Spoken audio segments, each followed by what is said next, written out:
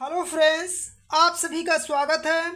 Friends, आज आप सभी को सामाजिक विज्ञान का संपूर्ण पेपर हल कराने वाले हैं। साथ में आप सभी को मानचित्र से संबंधित जो प्रश्न पूछे जाते हैं, उन सभी प्रश्नों को हल कराएँगे और साथ में आपको दीर्घ उत्तरी एवं लघु उत्तरी जितने भी प्रश्न पूछे जाते हैं, उसका संपूर्ण हल आप सभी को बताने वाले हैं। और मानचित्र को पूरा आपको भरने का तरीका साथ में बताएँगे। तो आप वीडियो के एक सेकंड के लिए भी स्किप मत कीजिएगा। संपूर्ण पेपर का हल आप ज़रूर देखिएगा। आप सभी को सात मार्च को जो पेपर हल कराएँगे, यही पेपर सेम टू सेम देखने के लिए मिलेगा। तो चलिए फ्रेंड्स वीडियो स्टार्ट करते हैं। तो फ्रेंड्स आपको यदि वीडियो पसंद आए तो वीडियो को लाइक कीजिए और चैनल पर नए हैं तो चैनल को सब्सक्राइब कीजिए। देखिए यहाँ से प्रारंभ होते हैं खंड अ जिसमें बीस बहुविकल्पीय प्रश्न है ठीक है? इसका यहाँ पे पहले हल देखिए फिर इसके बाद दीर्घ उत्तरी प्रश्नों को साथ में आप बत, आपको बताते हैं। देखिए बहुविकल्पी प्रश्न है। पहला प्रश्न इसका क्या है आपका? कि कौन कृषि आगत या निविष्ट नहीं है? आपका पहला प्रश्न यही है आपका ऑप्शन दिया है बीज नहीं है सिंचाई उद्योग या उर्वरक। यहाँ पे कृषि आगत या निविष्ट नहीं है, यहाँ पे नहीं शब्द पूछा है ना? तो यहाँ पे देखिए, आपका एक उद्योग जो होता है, ये आपके कृषि के अंतर्गत नहीं आता है तो इस प्रश्न का सही जवाब, सी वाला ऑप्शन सही हो जाएगा। जबकि बीज हुआ, सिंचाई हुआ उर्वरक हुआ, ये आपके कृषि के अंतर्गत आता है, लेकिन नहीं पूछा तो नहीं का जवाब आपका सही वाला सी हो जाएगा। अगला प्रश्न देखिए, महात्मा गांधी के अनुसार किसी राजनीति से अलग नहीं किया जा सकता है। ठीक है? ये भी इम्पोर्टेंट सवाल है। जितने भी प्रश्न बता रहे हैं, सभी आपके लिए सबसे इम्पोर्टेंट जो सवाल है, वही सब आपको बताया जा रहा है। तो आप वीडियो को स्किप मत कीजिएगा। बार बार ये चीज़ आपको कह रहे हैं। सभी संपूर्ण पेपर का हल ज़रूर आप देखिएगा। देखिए, महात्मा गांधी के अनुसार किसी राजनीति से अलग नहीं किया जा सकता है। संविधान राज्य, विधि या धर्म। तो धर्म को कभी भी राजनीति से अलग नहीं किया जा सकता है। इस प्रश्न का सही जवाब डी वाला ऑप्शन आपका क्या हो जाएगा? सही हो जाएगा। अगला देखिए, बिस्मार्क ने किस नीति द्वारा जर्मनी के एकीकरण में सफलता पाई थी? तो कौन सा नीति अपनाया गया था? तो इस प्रश्न का आपका सही जवाब हो जाएगा। लौह एवं रक्त की नीति अपनाई थी। तो इसका सही जवाब डी वाला ऑप्शन सही हो जाएगा कि बिस्मार्क ने लौह एवं रक्त की नीति द्वारा जर्मनी के एकीकरण में सफलता पाई थी। अगला देखिए चौथा नंबर का। क्रीमिया का शुद्ध क्रीमिया का युद्ध कब हुआ? ये इसका आपको जवाब बताना है कि जो क्रीमिया है, ये युद्ध कब हुआ था? तो इसका सीधा जवाब आप याद रखिएगा कि अट्ठारह ईस्वी में, ठीक है? अगला प्रश्न देखिए आपका, पाँचवा नंबर का, कि देखिए यहाँ पे कि भारत में कुल कितने संघीय राज्य हैं? तो आप सभी को पता है कि वर्तमान में जो संघीय राज्यों की संख्या है टोटल अट्ठाईस है तो इस प्रश्न का सही जवाब बी वाला ऑप्शन सही हो जाएगा।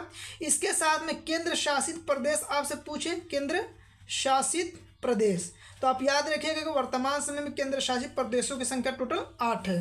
अगला देखिए रालेट एक्ट किस वर्ष पारित हुआ था?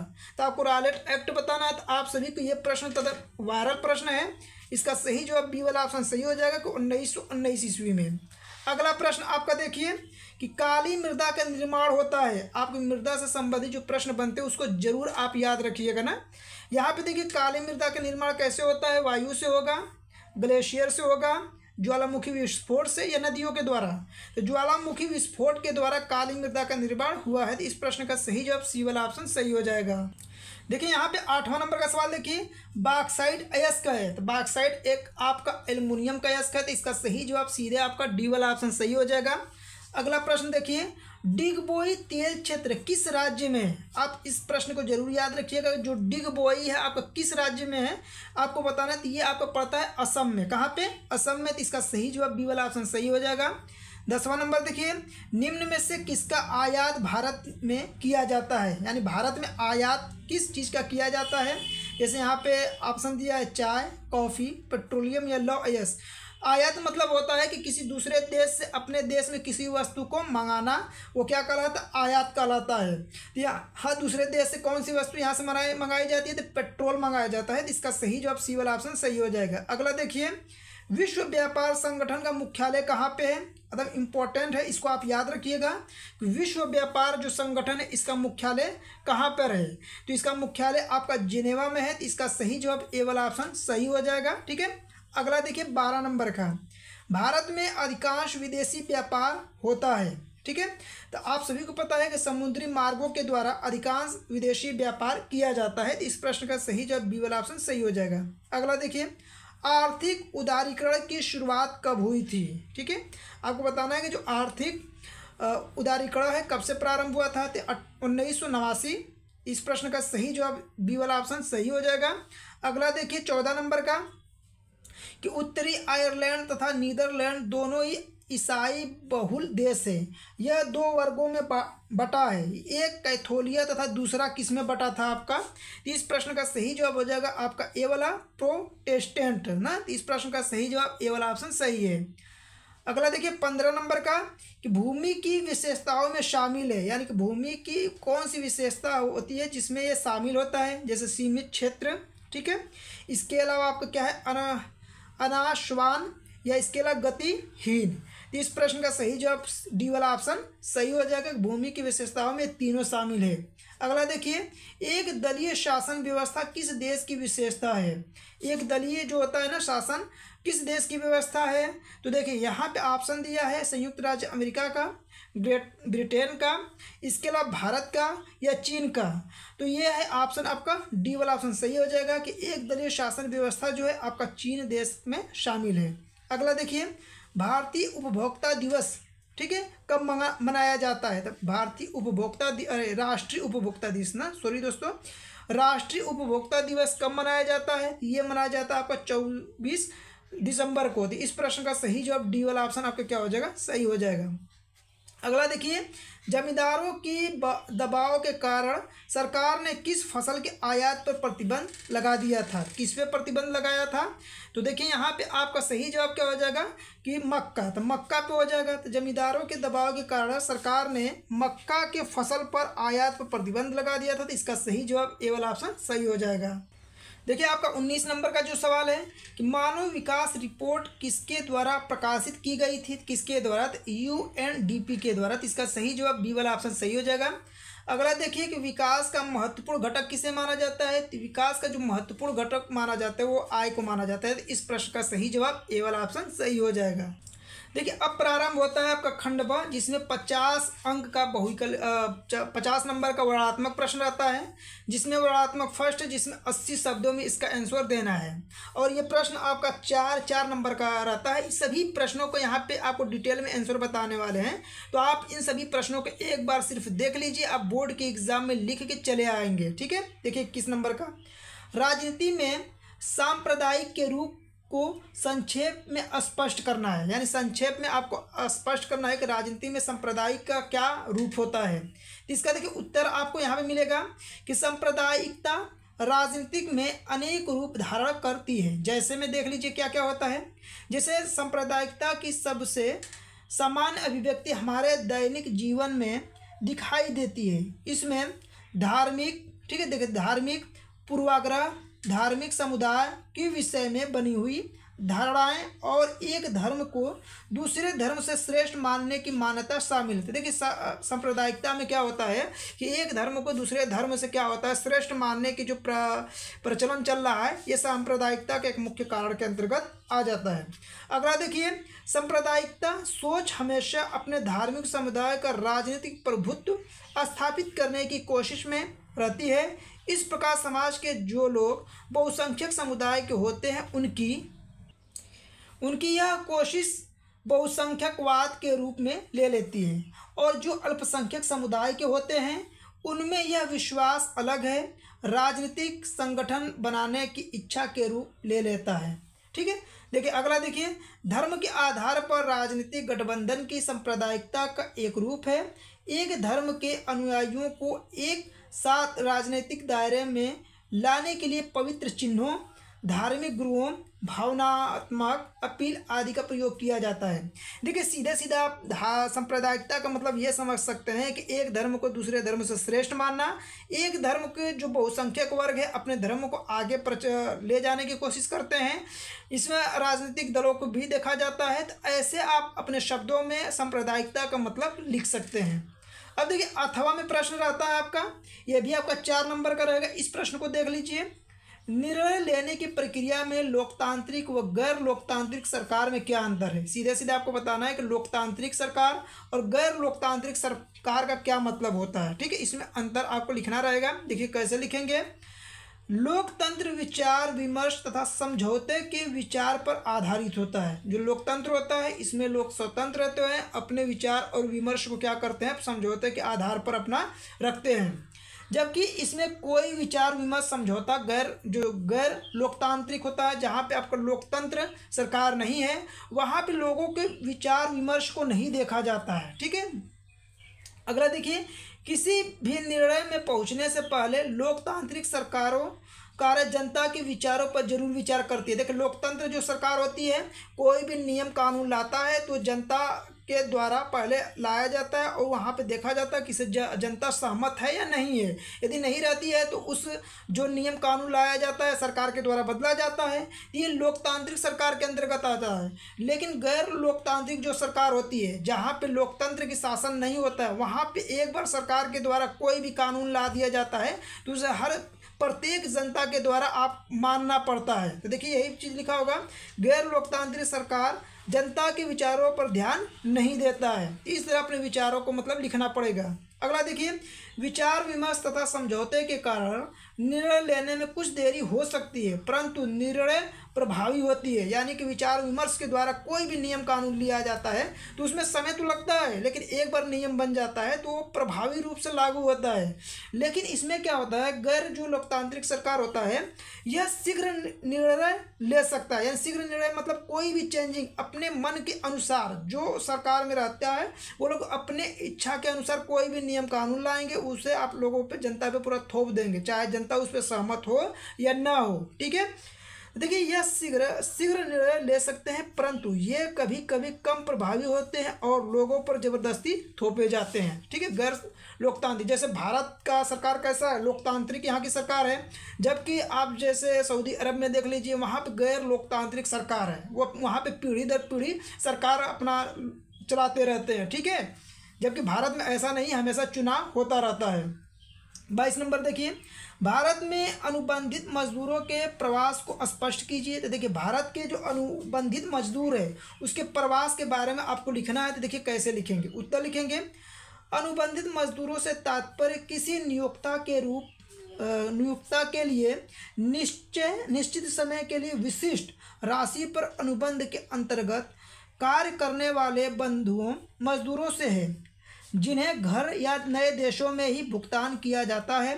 उन्नीसवीं शताब्दी में लाखों भारतीय व चीनी मजदूर, बगानों, खदानों और विश्व की विभिन्न निर्माणकारी परियोजनाओं में कार्य करने के लिए गए। अधिकांश भारतीय अनुबंधित कर्मचारी पूर्वी उत्तर प्रदेश के वर्तमान राज्यों से बिहार मध्य प्रदेश मध्य भारत और तमिलनाडु से आए। देखिए इस कहने इसका प्रश्न कहने का मतलब है कि भारत के अनुबंधित जो मजदूर है प्र, के प्रवास को स्पष्ट कीजिए। इसका मतलब सीधा सीधा ये होता है कि जैसे आप देख लीजिए जितने भी भारत के लोग हैं अधिकांश अधिकांशतः अन्य देशों में जाके काम करते हैं। जैसे यहाँ के अधिकांशतः देखेंगे तो सऊदी अरब कुवैत, ऐसे देशों में जाके वहाँ पे मजदूरी करते हैं तो वही भारत के अनुबंधित मजदूर कहलाते हैं। तो उसी के बारे में अपने शब्दों में आप आसानी से लिख सकते हैं। बस इसका मतलब आपको समझ में आएगा तो आप आसानी से लिख सकते हैं, ठीक है? उन्नीसवीं शताब्दी के मध्य भारत के इन राज्यों में कोई सामाजिक परिवर्तन हुए? जैसे कुटीर, उद्योगों का पतन हो गया, ज़मीन का किराया बढ़ गया, और खदानों तथा बगानों के लिए ज़मीन के को साफ़ कर दिया गया। इन सब इन सब कारणों ने गरीबों को कार्य की तलाश में प्रवास करने के लिए बाध्य कर दिया गया। अब देखिए, अब एक देश के लोग दूसरे देश में जाएँगे तो वहाँ के जनसंख्या बढ़ेगी, वहाँ के लोग रहने लगेंगे तो वहाँ पे क्या हो जाएगा? मकान का किराया बढ़ जाएगा, वहाँ के ज़मीनों के किराया बढ़ जाएगा, ठीक है? वहाँ के जो पेड़ पौधे रहेंगे, उसको काट के अधिक से अधिक मकान बना दिए जाएँगे। तो यही सब होता है भारत के से अनुबंधित मजदूरों के प्रवास के बारे में आपको इस प्रकार से लिखना है, ठीक है? देखिए, अथवा मांस परिवहन में तकनीकी की भूमिका को स्पष्ट कीजिए। मांस परिवहन, देखिए क्या होता है? रेफ्रिजरेटेड जहाज़ों के विकास ने खराब होने वाले खाद्य पदार्थों को लंबी दूरी तक विभिन्न यूरोपीय देशों तक निर्यात किया जा गया। इससे यूरोपीय बाज़ार में मांस का मूल्य कम हो गया और मांस कभी कभी मक्खन और अंडे निर्धनों के लिए प्रतिदिन का आहार बन गया। इस बेहतर आजीविका की स्थिति ने देश के अंदर सामाजिक शांति उत्पन्न कर दी और उपनिवेशों में साम्राज्यवाद का समर्थन कर दिया। इस प्रकार से इस प्रश्न का आंसर आप देंगे। देखिए, अगला प्रश्न जो है तेईस नंबर का, श्रम कानूनों में लचीलापन कंपनियों की कैसे मदद करेगा? जो श्रम कानून है, जो लचीलेपन कंपनियाँ उसमें कैसे मदद करेगा? देखिए, इसको देखिए। बस एक एक बार प्रश्न जो पढ़ के आपको बता रहे हैं, बस एक बार सुन लीजिए। जब आप सुन लेंगे ना तो आपको इससे संबंधित प्रश्न पूछेगा तो आप बना के इन प्रश्नों का आंसर आप आसानी से लिख लेंगे और ये प्रत्येक प्रश्न आपका चार चार नंबर का रहता है, ठीक है? इसीलिए आपको थोड़ा सा एक पेज दो पेज दो पेज कम से कम दो पेज लिखना पड़ेगा। दो तीन पेज लिखेंगे, आपको अच्छे नंबर मिलेगा। देखिए, श्रम कानूनों में लचीलेपन कंपनियों को श्रमिकों की संख्या पर नियंत्रण रखने में मदद करेगा। फिर कोई भी कंपनी श्रमिकों को मौसमी मांग के हिसाब में से नियोजित कर सकता है या उन्हें काम से हटा सकता है। कम मांग की स्थिति में किसी भी कंपनी को अतिरिक्त श्रमिकों को वहन करने की आवश्यकता नहीं पड़ेगी। इससे कंपनियों के मुनाफे में भी सुधार होगा। देखिए, श्रम कानून लचीलेपन कंपनी के मतलब ये होता है कि लचीलापन कंपनी होता है, जैसे कंपनी में जैसे मजदूरों को रखा गया, मजदूर उसमें काम कर रहे हैं। उनको मौसमों के अनुसार उनके वेतन को बढ़ा भी सकते हैं या आवश्यकता के अनुसार उनके वेतन को कम भी किया जा सकता है। यानी कि जो कंपनी का कठोर, कठोरतापन नहीं रखा जाता है कि एक बार यदि मजदूरी डिक्लेयर कर दिया गया तो वही मजदूरी होगा। नहीं, उसमें आवश्यकता के अनुसार बढ़ाया या घटाया भी जा सकता है। यहाँ पे इसके बारे में ये चीज़ कहा गया है। इससे कंपनियों का क्या होगा? मुनाफा भी होगा, ठीक है? अगला प्रश्न देखिए, जैसे अथवा में राष्ट्रीय विकास की प्रमुख विशेषताओं को बताइए। यानी राष्ट्रीय जो विकास होता है, उसकी प्रमुख विशेषताएँ क्या होती है? जैसे उत्तर में देखिए राष्ट्रीय विकास की प्रमुख विशेषताएँ, जैसे यहाँ पे देखिए क्या होता है कौन कौन सी विशेषताएँ होती है? राष्ट्रीय विकास की प्रमुख विशेषताएँ निम्नलिखित होती है। पहला देखिए, राष्ट्रीय विकास के अंतर्गत वह कार्यक्रम तथा नीतियाँ ही कार्यान्वित होंगे जो लोगों की अधिक संख्या के लिए उत्तरदायी होंगे। यह विवादों और उनके उपायों के बारे में सोचने के लिए महत्वपूर्ण होंगे, ठीक है? अगला देखिए हमें यह भी सोच आ, सोचना होगा कि क्या कार्य करने का कोई बेहतर तरीका है। सरकार निर्णय करती है कि सभी के लिए न्यायपूर्ण और सही मार्ग क्या होगा।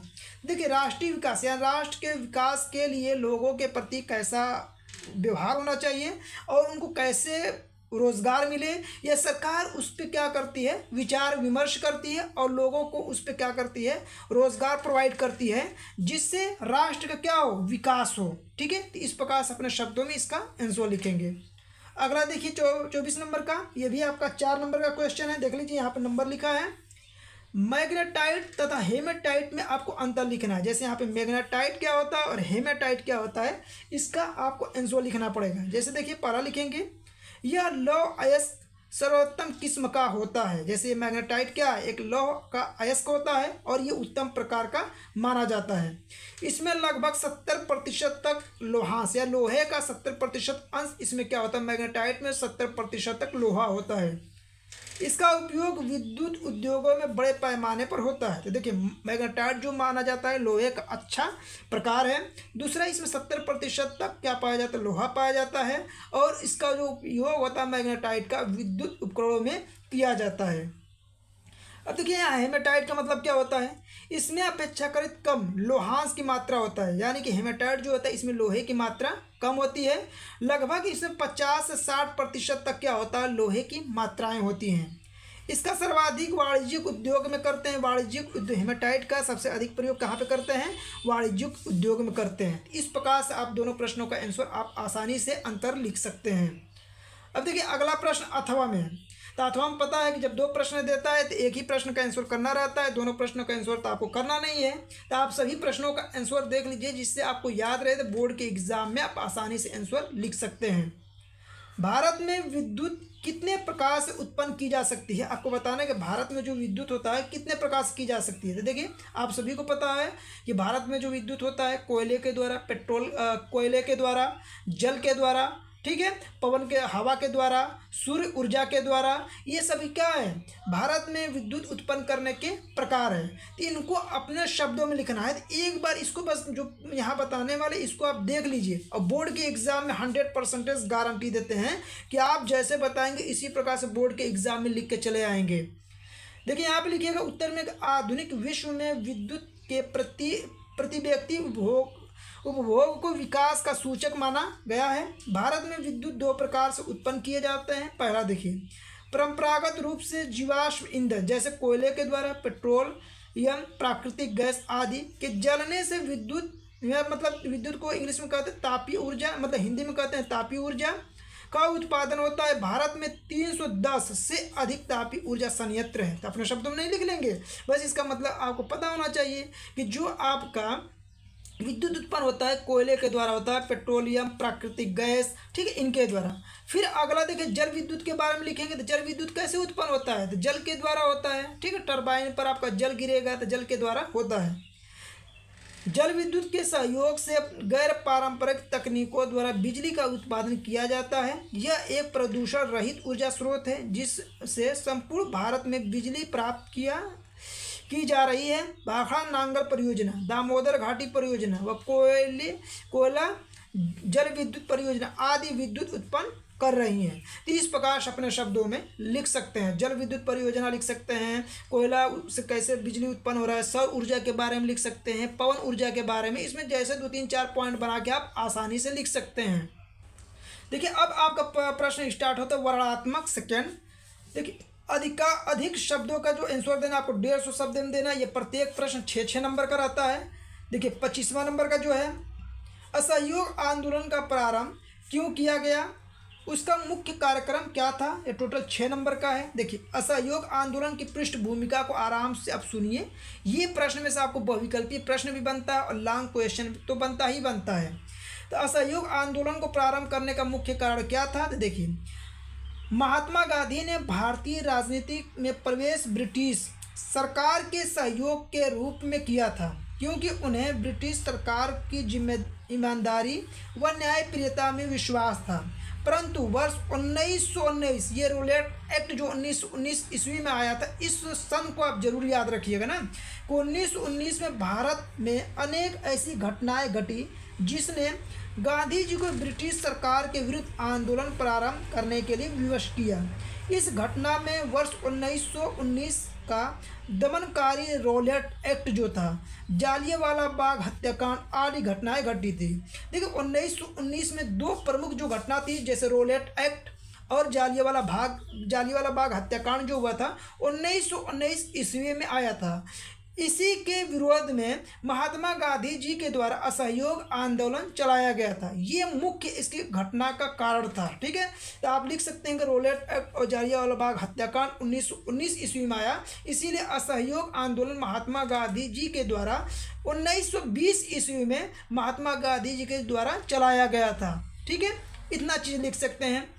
असहयोग आंदोलन के क्या कारण थे? तो यहाँ पे लिखेंगे असहयोग आंदोलन के निम्नलिखित कारण। थे यहाँ पे कारण बहुत से बताएँगे, लेकिन आपको इतना नहीं लिखना है। लेकिन इसमें से आप लिखेंगे तो कम से कम डेढ़ पेज मतलब दो पेज, तीन पेज तो आपको आंसर लिखना ही पड़ेगा। लेकिन आप सुने रहेंगे तो इसका आंसर आप आसानी से लिख के चले आएँगे। देखिए, प्रथम विश्व युद्ध के बाद आर्थिक कठिनाइयों के कारण महँगाई बहुत बढ़ गई। मध्यम वर्ग एवं निम्न वर्ग इस महँगाई से अत्यधिक परेशान हो गए थे। इस परिस्थितियों में भारतीयों में ब्रिटिश विरोधी भावनाओं को प्रसार कर उन्हें आंदोलन हेतु प्रोत्साहित किया गया। देखिए, जब प्रथम विश्व युद्ध उसी समय हुआ था आपका, प्रथम विश्व युद्ध जब हुआ था तो उस समय क्या था कि आपका महँगाई, चरम सीमा पे हो गई, जिससे लोग ग्रस, लोग पीड़ित होने लगे और उन्होंने महात्मा गांधी जी का सहाय, सहायता किया और महात्मा गांधी जी के द्वारा असहयोग आंदोलन चलाया गया। अगला देखिए। रोलेट एक्ट तथा जालियाबाग हत्याकांड जैसी घटनाएँ विदेशी शासनों को क्रूर एवं सब असभ्य व्यवहार को उजागर कर दिया था। तो उस समय आपका क्या होता है कि उन्नीस सौ उन्नीस में रोलेट एक्ट आया और जालियावाला बाग हत्याकांड हो गया था, जिससे लोगों क्या हो गया कि क्रोधित हो गए और आंदोलन करने के लिए अग्रसर हो गए थे। तो इस प्रकार आप लिख सकते हैं। अब देखिए और सी कौन सी घटनाएँ हुई थी? पंजाब में अत्याचारों के संबंध में हंटर कमेटी की सिफारिश ने सबकी आँखें खोल दी। ठीक है? अगला देखिए वर्ष 1919 का जो मांटेंग्यू चेप्सफोर्ड सुधार भी दिव्य शासन लागू करने के, के नियमों से लिया गया। न कि आम जनता के राहत पहुँचाने के उद्देश्य से स्वशासन की मांग कर रहे राष्ट्रवादियों को भी इससे घोर निराश हुई। ठीक है, देखिए, इसका मतलब क्या हुआ कि जब हंटर कमेटी आयोग बना था, उसमें भारत की तरफ़ से बहुत कम लोग ही उसमें शामिल हुए थे। जिससे जो आंदोलनकारी थे जो राष्ट्रवादी थे उसमें आ, सोच रहे थे कि उसमें उनको स्थान मिलेगा। लेकिन जो हंटर कमेटी बना था उसमें भारतीयों को बहुत ज़्यादा स्थान कोई प्राप्त नहीं हुआ जिसके कारण भी ये असहयोग आंदोलन चलाया गया। अगला देखिए सरकार के द्वारा किसी भी क्षेत्र में सहयोगता नहीं मिली थी। ये सभी मुख्य कारण है आप इसको लिख सकते हैं। असहयोग आंदोलन के निषेधात्मक कार्यक्रम क्या थे? देखिए पहला लिखिएगा उपाधियों और मा, मानद अधिकारियों की वापसी। यानी जितने भी जैसे महात्मा गांधी जी को और डा इनको रविन्द्रनाथ टैगोर को जो उपाधि मिली थी उन्होंने क्या किया कि सरकार को जो ब्रिटिश सरकार थी उसको वापस कर दिए थे सभी लोग ठीक है? मनोनीय मनोनीत कार्यकालों और स्थानीय निकायों के इस्तीफा सभी लोग देने लगे। सरकार द्वारा सरकार, नहीं, सरकारी दरबार में जाने से इनकार और वकीलों द्वारा न्यायालय का बहिष्कार करने लगे। आम लोगों द्वारा फौज या अन्य सरकारी सेवाओं में जाने से इनकार। सरकारी विद्यालयों, कॉलेजों, न्यायालयों और 1919 के अधिनियम के अनुसार, ठीक है, निर्धारित चुनाव प्रक्रिया सहित विदेशी वस्तुओं का बहिष्कार सभी लोग करने लगे थे। ये था असहयोग आंदोलन का कार्यक्रम। असहयोग आंदोलन के रचनात्मक कार्यक्रम क्या था? देखिए, आपको जितना प्रश्न पूछा पूछा जाएगा, बस उतना ही आंसर देना है, लेकिन असहयोग आंदोलन के बारे में आपको पूरा डिटेल बता दे रहे हैं जिससे आपको असहयोग आंदोलन से किसी भी प्रकार का प्रश्न है तो आप लिख सकते हैं। देखिए, असहयोग आंदोलन चलाने के लिए तिलक स्वराज्य स्वराज्य कोष स्थापित किया गया। छः महीनों के अंदर इसमें एक करोड़ रुपए जमा हो गए। स्त्रियों ने भी बहुत उत्साहित, उत्साह दिखाया और अपने गहरे गहने एवं जेवरों को खुलकर दान किया। विदेशी वस्त्रों को बहिष्कार एवं आंदोलन बन गया और पूरे देश में जगह जगह विदेशी वस्त्रों की होली जलाई गई। खादी स्वतंत्रता का प्रतीक बन गई। इसके साथ साथ 20 लाख चरखों का वितरण किया गया। राष्ट्रीय शिक्षा की दशा में प्रयास करना, स्वदेशी माल के खरीदरों पर देश और लोग अदालतों की स्थापना और प्रमुख रचनात्मक कार्यक्रम था। तो इसके देखिए असहयोग आंदोलन के रचनात्मक कार्यक्रम क्या था? जब असहयोग आंदोलन महात्मा गांधी जी के द्वारा स्थापित किया गया था तो उस समय लोगों के द्वारा ज़्यादा सरकार के प्रति क्रोधित होने के कारण अधिक से अधिक इसमें महिलाओं ने भा, भाग लिया और अधिक से अधिक अपने जेवरों का भी वितरण किया। इसके बाद सरकारों के द्वारा क्या किया गया कि जो महात्मा गांधी जी के ग्रुप में जितने भी लोग थे तो उनके द्वारा सभी लोगों को 20 लाख चरकों का वितरण किया गया कि सभी लोग अपने स्वदेशी कपड़ा बने और अपने स्वदेशी कपड़ा को पहने। और विदेशी कपड़ा जो है उसका बहिष्कार किया गया और हर जगह उसकी होलिका जलाई गई। ठीक है? देखिए अगला अब आता है आपका असहयोग आंदोलन का प्रारंभ कब हुआ था? असहयोग आंदोलन औपचारिक रूप से एक अगस्त 1920 को शुरू हुआ था। इस सन को आप ज़रूर याद रखिएगा कि असहयोग आंदोलन का प्रारंभ कब हुआ था तो 1920 में। क्योंकि इसी दिन एक अगस्त 1920 को बाल गंगाधर तिलक का निधन हो गया था। कांग्रेस ने गांधी जी के इस योजना को स्वीकार कर लिया। जब ब्रिटिश ने कांग्रेस की मांगों को मानने से इनकार कर दिया तथा जून 1920 में इलाहाबाद में सर्वदलीय सभा ने विदेशी वस्तुओं, स्कूलों, कॉलेजों, न्यायालयों आदि के बहिष्कार का कार्यक्रम बनाया। तब सितंबर 1920 में कांग्रेस ने एक विशेष सत्र कलकत्ता में बुलाया। सौ बीस में कांग्रेस का जो पहला अधिवेशन हुआ था, वो कलकत्ता में हुआ था तो इसको भी साथ में आप याद रखिएगा। ठीक है? तो यहाँ पे देखिए, इसमें अहिंसा अहिंसात्मक असहयोग आंदोलन जिसका अंतिम लक्ष्य स्वराज था, शुरू करने का प्रस्ताव पारित किया। देखिए, ये था आपके असहयोग आंदोलन से, इससे बाहर आपके क्वेश्चन नहीं जाने वाला है। जिस पॉइंट को इसमें बताया, उस पॉइंट को ज़रूर आप ध्यान दीजिएगा। अगला देखिए आप क्वेश्चन कि कार्न ला को भंग करने के क्या परिणाम थे? उत्तर होगा इसका कि कार्न ला, कानून को भंग करके निम्नलिखित परिणाम हुए। पहला देखिए भोजन के मूल्य में गिरावट आने में ब्रिटेन में खपत में वृद्धि हो गई। उन्नीसवीं शताब्दी के मध्य से ब्रिटेन में तेज़ी से औद्योगिक वृद्धि हुई और आय भी बढ़ गई तथा भोजन के लिए अधिक मार्ग में भी बढ़ोतरी हुई। ठीक है? देखिए, यहाँ पे कार्नला कानून को मेन उद्देश्य क्या था कि भोजन के मूल्य में क्या करना, गिरावट करना, जिससे उसकी खपत में क्या होना, अधिक से अधिक वृद्धि होना था। मेन कार्नला कानून भंग करने का मेन परिणाम थे। कृषि संबंधी उत्पादों का निर्यात करने के लिए नए रेलवे स्टेशनों व बंदरगाहों की ज़रूरत पड़ी। कर्मचारियों की संख्या में वृद्धि होने के अत्यधिक आवासों और प्रावधानों की ज़रूरत हुई। इन सभी गतिविधियों के लिए पूंजी और श्रम की आवश्यकता थी। अगला देखिए, लंदन जैसे वित्तीय केंद्रों से पूंजी का प्रवाह होना लगा। अगला, श्रम की मांग के कारण 19वीं शताब्दी में लाखों लोग बेहतर जीवन की तलाश में यूरोप से अमेरिका और ऑस्ट्रेलिया की ओर प्रवास करने लगे। देखिए, कान कानून कानून को भंग करने का मेन उद्देश्य क्या था कि भोजन के मूल्यों को निर्यात जो होता है उसको कम करना, जिससे उसके उत्पादों में अधिक से अधिक वृद्धि होना। ठीक है? अगला देखिए 1890 ईस्वी में वैश्विक कृषि अर्थव्यवस्था का विकास हो गया। कभी कभी रेलों, जहाज़ों द्वारा हज़ारों मील से भोजन आ, आता था। यह नाटकीय परिवर्तन यद्यपि छोटे पैमाने पर पश्चिमी पंजाब पश्चिमी पंजाब में हुआ। भारत में ब्रिटिश शासकों ने निर्यात हेतु गेहूँ और कपास में बढ़ोतरी करने के लिए उपजाऊ कृषि भूमि से सिंचाई का विकास का पंजाब को निरूपा निरूपांतरित कर दिया। क्षेत्रीय वस्तुओं का विकास इतनी तेज़ी से हुआ कि 1820 से 1914 ईस्वी के बीच विश्व व्यापार 25 से 40 गुना बढ़ गया। ठीक है? तो ये आप कारण कानून के बारे में ज़रूर याद रखिएगा। अगला देखिए प्रश्न 26 उन कारणों का वर्णन कीजिए जो समाज में लैंगिक असमानता को बढ़ावा देता है। तो ये तो आप तो लोग लिख लेंगे, बहुत सिंपल से होता है। समाज में अलैंगिकता, असमानता को बढ़ावा कैसे मिलता है? देखिए यहाँ पे, भारत में श्रम देखिए यहाँ पे भारत में श्रम को लैंगिक विभाजन कर दिया गया। श्रम देख लैंगिक विभाजन का मतलब होता है स्त्री और पुरुषों का विभाजन होना कि जैसे महिलाएँ कौन सी काम करेगी, पुरुष जो रहेंगे वो कौन सा काम करेंगे? ये होता है लैंगिक विभाजन, ठीक है? लैंगिक विभाजन द्वारा तय किया गया कि महिलाएँ केवल घर का काम काज करेंगी और पुरुष जो होंगे बाहर के सार्वजनिक क्षेत्र कार्य करेंगे। ऐसे महिलाओं के श्रम का कोई मूल्य नहीं होगा। देखिए, ये लैंगिक विभाजन का मेन कारण है कि महिलाओं को कौन सा काम देना है, पुरुषों को कौन सा काम देना है, उसके अकॉर्डिंग जो बांटा गया, वो होता है लैंगिक विभाजन, असमानता, जो देखा गया, इसके बारे में आप समझते रहिए। बस अलैंगिक समानता का मतलब क्या होता है? बस इसका मतलब आप समझ जाएँगे तो आप अपने लिख सकते हैं इस प्रश्न का आंसर बहुत सिंपल सा होता है। सरकार ने बाल विवाह के विरुद्ध कानून पास कर रखे हैं।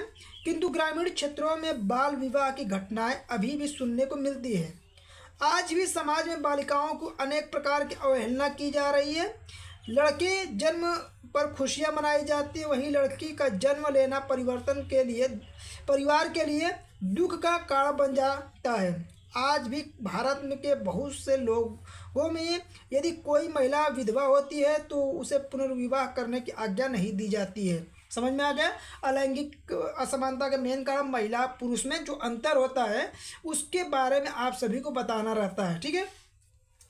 भारत में विधवाओं और महिलाओं प्रतिनिधित्व का अनुपात बहुत कम है। भारत इस मामले में अफ्रीका और लैटिन अमेरिका की कोई विकासशील कई विकासशील देशों से पीछे है। इस प्रकार सार्वजनिक जीवन, खासकर राजनीति में, उनकी भूमिका नगण्य है। देखिए, अथवा में आपका दिया है, ठीक है? कि लोकतंत्र सिद्धांतों में अच्छा दिखाई देता है, परंतु व्यवहार में इसे इतना अच्छा नहीं समझा जाता। कथन की पुष्टि कीजिए। ठीक है तो यहाँ पे देख सकते हैं कि लोकतंत्र आमतौर पर विभिन्न सामाजिक विभागों को समाज, समायोजित करने के लिए एक प्रक्रिया विकसित करता है। इस सामाजिक तनाव, विस्फोटक या हिंसक होने की संभावना कम हो जाती है। कोई भी समाज अलग अलग समूहों के बीच संघर्ष को पूरी तरह से और अस्थायी रूप मतलब अस्थायी रूप से हल नहीं कर सकता। लेकिन सामाजिक मतभेद, विभाजन और संघर्षों को नियंत्रित करने के लिए लोकतंत्र सबसे अच्छा है। अपने लक्ष्य को हासिल करने के लिए लोकतंत्र को निम्नलिखित शर्तों में पूरा करना होगा, ठीक है? अब देखिए शर्त क्या है? यह समझ यह समझना आवश्यक है कि बहुसंख्यक को सहमति द्वारा लोकतंत्र में शासन नहीं किया जा सकता। बहुसंख्यक को हमेशा अल्पसंख्यक के हितों की रक्षा करने की आवश्यकता होती है। इस प्रकार सरकार का कार्य सामान्य हित के प्रतिनिधित्व के रूप में माना जाता है। इस तरह इसका आंसर लिखना था। ठीक है, अब अब देखिए अगला प्रश्न अब राष्ट्रीय रोज़गार गारंटी अधिनियम कब तैयार किया गया, इसकी प्रमुख विशेषताएँ बताइए। तो राष्ट्रीय रोज़गार गारंटी योजना जो था, आपका 2005 में, ठीक है, अधिनियम तैयार किया गया, जिसे जिसे प्रधानमंत्री द्वारा 2 फरवरी 2006 को शुरू किया गया था। बाद में इसका नाम महात्मा गांधी राष्ट्रीय ग्रामीण रोज़गार गारंटी अधिनियम में बदल गया। इस योजना का मुख्य विशेषताएँ निम्नलिखित है।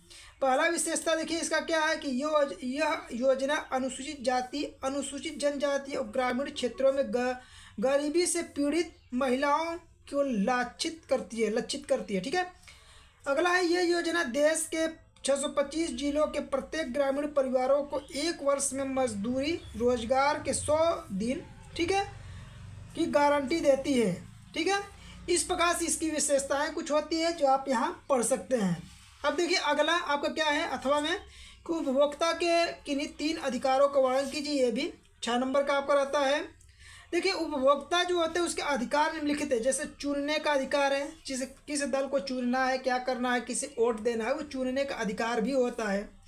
कोई भी उपभोक्ता जो अपनी क्षमता के अनुसार आयु, लिंग और सेवा की प्रकृति की चिंता के लिए बिना किसी सेवा को प्राप्त करता है, वह चुनने का अधिकार रखता है। ठीक है? चाहे वह सेवा उसे लगातार प्राप्त करने हो या नहीं, जैसे केबल ऑपरेटर की सेवा या बिना टूथब्रश के टूथपेस्ट खरीदना आदि, चाहे दुकानदार दानों को खरीदने के लिए बाध्य हो। तो ये सभी आप पढ़ सकते हैं। निवारण का उसका अधिकार होना चाहिए, प्रतिनिधित्व का अधिकार होना चाहिए, ठीक है? तो ये आप इसको पढ़ सकते हैं, ठीक है? चलिए अगले प्रश्न को बताते हैं आप सभी को। देखिए, ये भी इम्पोर्टेंट है। परमाणु ऊर्जा से आप क्या समझते हैं? इसकी किन्हीं पाँच विशेषताओं का वर्णन कीजिए। देखिए, परमाणु ऊर्जा जो होता है यूरेनियम के द्वारा जो ऊर्जा, जो आपका विद्युत ऊर्जा उत्पन्न किया जाता है, बनाया जाता है वही परमाणु ऊर्जा केंद्र कहलाता है, ठीक है? इसकी विशेषताएँ क्या होती है? इसके बारे में आप सभी को बता देंगे, पहले आप देख लीजिए। परमाणु खनिजों के विखंडन के परिणाम स्वरूप प्राप्त होने वाली ऊर्जा को परमाणु ऊर्जा कहते हैं। इस ऊर्जा में विद्युत बनाई जाती है, परमाणु खनिजों से यूरेनियम जैसे हुआ, थोरियम हुआ, बेरिलियम, एंटीमनी, प्लूटोनियम, जर्कोनियम ना?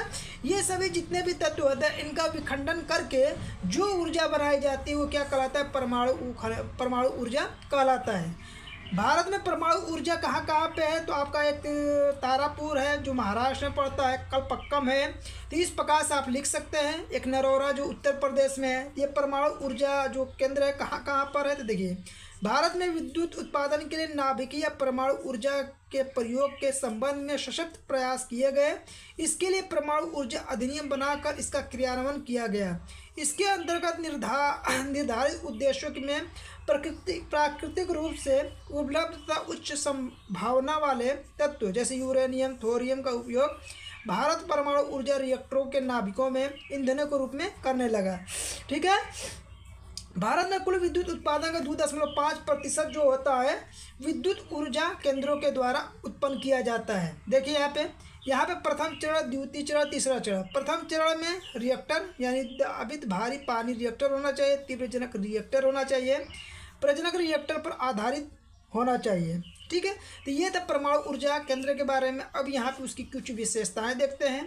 अपार क्षमता ऊर्जा की क्षतिपूर्ति, ठीक है? यानी भारत में उत्तम कोयला व खनिज तेल का अभाव, इसके विपरीत परमाणु ऊर्जा, अपार क्षमता एवं शक्ति होती है, जिसके द्वारा ऊर्जा के अभाव की क्षतिपूर्ति हो सकती है। देखिए, जैसे कोयला वाला के द्वारा जितना ऊर्जा उत्पन्न किया जाता है, आप कम मात्रा में यूरेनियम का प्रयोग करके उससे अधिक से अधिक मात्रा में आप क्या कर सकते हैं? विद्युत ऊर्जा उत्पन्न कर सकते हैं। परमाणु केंद्रों की सुविधाजनक स्थापना इसकी स्थापना आसानी से कर सकते हैं, लेकिन आपके ग्रामीण क्षेत्रों से इसको कई दूर दराज स्थानों में बनाया जाता है। इसके बारे में लिख देंगे। बहुत उपयोगी क्या होता है कि बिजली जैसे ही बनेगा तो इसका अधिक से अधिक मात्रा में प्रयोग भी कर सकते हैं। तो इसके क्या हो गए? कुछ विशेषताएँ हो गई। देखिए, आपका सबसे इम्पोर्टेंट जो क्वेश्चन है, आपको बता दें, इस क्वेश्चन को ज़रूर तैयार कर लीजिएगा। भारत में गैर परंपरागत ऊर्जा के संसाधनों का वर्णन कीजिए। देखिए, गैर परंपरागत जो ऊर्जा जो स्रोत है, वो कौन से? जैसे आपका सूर्य से जो ऊर्जा प्राप्त हो रही है, पवन से जो ऊर्जा प्राप्त हो रही है, ठीक है? और इसके अलावा भूतापीय ऊर्जा, बायोगैस के द्वारा जो ऊर्जा प्राप्त हो रही है, ये सभी क्या कहलाते हैं? गैर परंपरागत ऊर्जा के अंतर्गत आते हैं। तो आप गैर परंपरागत ऊर्जा और परंपरागत यानी जो परंपरा गत जो परंपरा से ऊर्जा चली आ रही है, जैसे कोयला, पेट्रोल, डीजल, यूरेनियम, ये सब पहले से, प्राचीन समय से ही चले आ रहा है तो इसे परंपरागत कहते हैं। गैर परंपरागत जो वर्तमान समय में ऊर्जा का स्रोत बना हुआ है, वो गैर परंपरागत ऊर्जा के अंतर्गत आते हैं। जैसे सौर ऊर्जा तो सौर ऊर्जा क्या होता है? सूर्य के किरणों के द्वारा सोलर पैनल लगा के उससे जो ऊर्जा उत्पन्न किया जाता है, सौर ऊर्जा कहलाता है। इसके बारे में आप पढ़ सकते हैं कि यह सूर्य के किरणों से प्राप्त की जाती है। इसे प्रौद्योगिकी के उपयोग द्वारा विद्युत ऊर्जा ता, तापीय ऊर्जा में परिवर्तन किया जाता है। भारत में सौर ऊर्जा को असीमित संभावना है। भारत में इस ऊर्जा के उपयोग की ओर तेज़ी से सरकार का ध्यान गया है। भारत में गुजरात के पाटन में एशिया का सबसे बड़ा सौर ऊर्जा संयंत्र स्थापित किया गया है। भारत में जवाहर नेहरू राष्ट्रीय सौर मिशन के अंतर्गत वर्ष 2022 तथा बीस हज़ार मेगावाट और सौर ऊर्जा उत्पादन लक्ष्य निर्धारित किया गया है। वर्तमान में दो हज़ार छः सौ सैंतालीस मेगावाट सौर ऊर्जा का उत्पादन किया जा रहा है। इसके अलावा देखिए, भूतापी ऊर्जा भी प्राप्त ये आपके घर परंपरागत ऊर्जा के अंतर्गत आता है। इसके अलावा पवन ऊर्जा, फिर इसके बाद ज्वारी ऊर्जा फिर उसके बाद बायोगैस देखिए, ज्वारी ऊर्जा क्या होता है आपका? कि जो आपका समुद्र में ज्वार भाटा आता है, उनके पानी को एकत्रित करके उसके द्वारा जो ऊर्जा बनाया जाता है, जो बिजली बनाया जाता है, वो ज्वारी ऊर्जा हो जाता है। पवन ऊर्जा का मतलब होता है कि हवाओं के द्वारा टरबाइन लगा के उससे जो ऊर्जा उत्पन्न किया जाता है, वो होता है पवन ऊर्जा। तो इस प्रकार से आप गैर परंपरागत ऊर्जा के बारे में लिख सकते हैं। यदि आप जितने भी पॉइंट बताएँ, इसको ध्यान से सुने होंगे तो आप आसानी से आंसर इसका लिख सकते हैं। देखिए, आप मानचित्र के जो प्रश्न है, आप सभी को बता देते हैं मानचित्र पे यहाँ पे भर के भी बता देंगे। उनतीस का क है। भारत के मानचित्र पर निम्नलिखित स्थानों को उनके नाम सहित चिन्हों द्वारा दर्शाना है। पहला है आपका कि वह स्थान जहाँ किसान आंदोलन शुरू हुआ था। तो पहला आपका बता रहा है कि किसान आंदोलन कहाँ से शुरू हुआ था? तो ये हुआ था आपका खेड़ा से। कहाँ से किसान आंदोलन शुरू हुआ था? खेड़ा से। और खेड़ा पड़ता कहाँ पे है? तो आपका पड़ता है गुजरात में, ठीक है? देखिए, ये मानचित्र में देखेंगे तो ये है आपका गुजरात। गुजरात में यहाँ पे पड़ता है खेड़ा तो इस तरह लिख देंगे खेड़ा। ये पहले का है तो पहला लिख सकते हैं खेड़ा। अब देखिए अगला। वह स्थान जहाँ सितंबर, यहाँ महीने का नाम याद रखिएगा, सितंबर 1920 में भारतीय राष्ट्रीय कांग्रेस का अधिवेशन हुआ था। तो कहाँ पे हुआ था? तो ये हुआ था आपका कलकत्ता में। कलकत्ता, इसे याद रखिएगा। और देखिए कलकत्ता कहाँ पे? तो पश्चिम बंगाल पड़ता है। तो देखिए ये आपको क्या है? यहाँ पे ये है आपका बांग्लादेश। बांग्लादेश के बगल में ये है पश्चिम बंगाल। तो इसको लिखिएगा कलकत्ता। कलकत्ता। कौन से प्रश्न का सेकंड का है तो सेकंड लिख सकते हैं। अगला देखिए। वह स्थान जहाँ वर्ष 1927 में कांग्रेस अधिवेशन का आयोजन हुआ था तो 1927 ईस्वी में कांग्रेस का अधिवेशन कहाँ पे हुआ था तो ये हुआ था आपका मद्रास में। इसको याद रखिए, कहाँ पे हुआ था, मद्रास में। 1927 में कहेगा तो मद्रास में 1920 यानी सितंबर महीना 1920 कहेगा तो कलकत्ता बताइएगा, ठीक है? अब देखिए, मद्रास आपका जो पड़ता है, तमिलनाडु में पड़ता है। ये है आपका तमिलनाडु यहाँ पे, और यहाँ पे पड़ता है आपका मद्रास। तो यहाँ पे लिख दीजिएगा तीसरा, और यहाँ पे भरिएगा मद्रास। ठीक है, इस प्रकार से आप भर लीजिएगा। अगला देखिए, वह स्थान जहाँ वर्ष उन्नीस सौ उनतीस में कांग्रेस अधिवेशन का आयोजन हुआ था। तो देखिए, यही प्रश्न आपका रिपीट हो गया। यहाँ पे ध्यान दीजिएगा कि वह स्थान जहाँ उन्नीस सौ उनतीस, यहाँ पर ध्यान दीजिए, कितना दिया है आपका? यहाँ पे उन्नीस सौ सत्ताईस दिया था तो मद्रास भरे हैं। यहाँ पे उन्नीस सौ उनतीस दिया है तो उन्नीस सौ उनतीस याद रखिएगा, लाहौर। कहाँ पे लिखेंगे? लाहौर। ठीक है, इस चीज़ को भी ध्यान दीजिएगा। सन को ध्यान ज़रूर दीजिएगा। उन्नीस सौ बीस पूछेगा तो कलकत्ता, उन्नीस सौ सत्ताईस पूछेगा तो मद्रास, उन्नीस सौ सत्ताईस पूछेगा तो लाहौर। देखिए, लाहौर कहाँ पे है? आप सभी को पता है, लाहौर आपका है कहाँ पे ये आपका बंगला ये पाकिस्तान में देखिए, पाकिस्तान यहाँ पे है तो ये आपका हो जाएगा प्रश्न नंबर चौथा का। चौथा को हो जाएगा, यहाँ लिख दीजिएगा लाहौर। ठीक है, देखिए, मानचित्र कितना सिंपल तरीका से आप लोग भर रहे हैं। वह स्थान जहाँ उन्नीस सौ बाईस में असहयोग आंदोलन वापस ले लिया गया था तो कहाँ पे लिया गया था? चौरी चौरा जो हत्याकांड हुआ था, कौन सा कांड हुआ था उन्नीस सौ बाईस में? चौरी चौरा कांड, चौरी चौरा। चौरी चौरा जो कांड हुआ था, उसके विरोध में महात्मा गांधी जी ने असहयोग आंदोलन जो था, उसको वापस ले लिया था। तब देखिए, चौरी चौरा है कहाँ पर यह है आपका उत्तर प्रदेश और उत्तर प्रदेश में यह पड़ता है आपका यहाँ पे चौरी चौरा।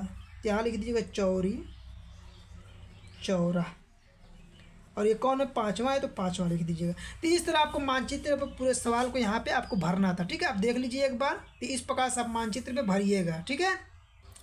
देखिए, आपका अगला है सवाल कि भारत के मानचित्र पर निम्नलिखित को पहचानिए, उनके नाम लिखिए। जैसे देखिए, भाखड़ा नांगलबाद को चिन्ह के द्वारा दर्शाना है कि भाखड़ा नांगलबाद कहाँ पे पड़ता है?